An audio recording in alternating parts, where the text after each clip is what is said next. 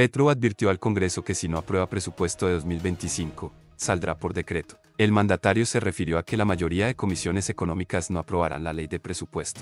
El presidente Gustavo Petro lanzó una dura advertencia por medio de su cuenta X, red social antes Twitter. Dijo que le tocaría sacar el presupuesto general del siguiente año 2025, que sería de 523 billones de pesos, por decreto. Hay una paradoja formada en el día de hoy, la mayoría de las comisiones económicas no aprobarán la ley de presupuesto porque no quieren la ley de financiamiento.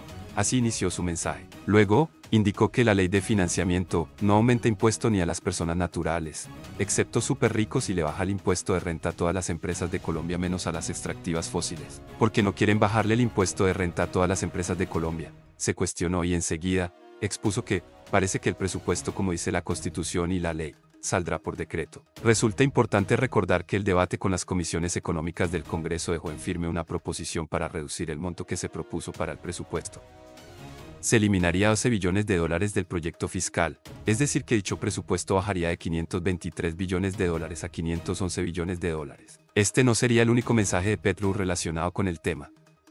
Pues, recientemente, también, había asegurado que, recorten o no recorten la ley de presupuesto, la ley de financiamiento o la reforma tributaria se presentará porque hay que reactivar la economía, escribió el mandatario de los colombianos. Entre las reacciones se destaca el comentario de la senadora de la República, Angélica Lozano Correa, quien aseguró que el presupuesto está inflado. El déficit no son 12 billones de dólares, son 45 dólares más 10 dólares de la CPM, añadió, hay muchos billones guardados en fiduquías, con ejecución ficticia, es imposible reactivar con la plata guardada y pidiendo una tributaria, 499 dólares es lo que pueden ejecutar. PAC 213 a 215 del presupuesto, concluyó Angélica Lozano.